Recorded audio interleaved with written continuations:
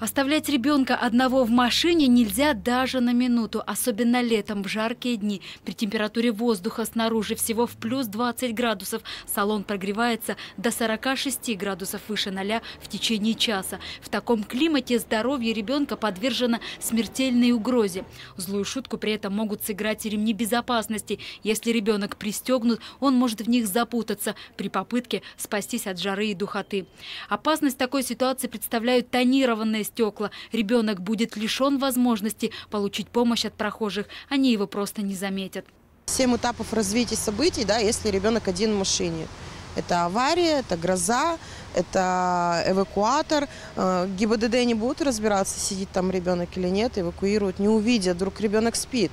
Его просто не видно, если машина, допустим, затонирована. Это солнечный удар, да, тепловой удар будет, это наводнение, это земля может. У нас провалы бывают часто. Дети страдают от безответственности родителей, животные от легкомысленного поведения своих хозяев. Любой ветврач расскажет, сколько запертых в машине кошек и собак гибнут от теплового удара каждое лето. Даже в облачный день, даже с приоткрытыми окнами. Есть признаки теплового удара. Первую очередь мы отмечаем тяжелое дыхание, одышку, иногда слюнотечение, может быть рвота, покраснение всех слизистых оболочек. Можно вплоть до комы даже дойти и до остановки сердца. Первое, что может сделать владелец, это охладить животное. То есть, э, к примеру, вынести его в более прохладное помещение, прохладный душ, протирание влажными полотенцами, подмышки, паховая область, голова.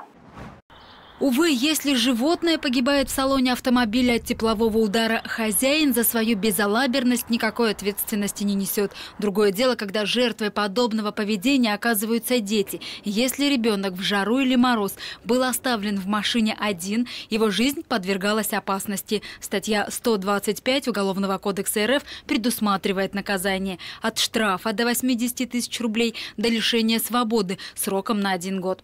Увидели малыша, запертого в машине, машине в яркий летний день, не оставляйте его без присмотра. Срочно ищите родителей и будьте готовы оказать ему помощь в любой момент.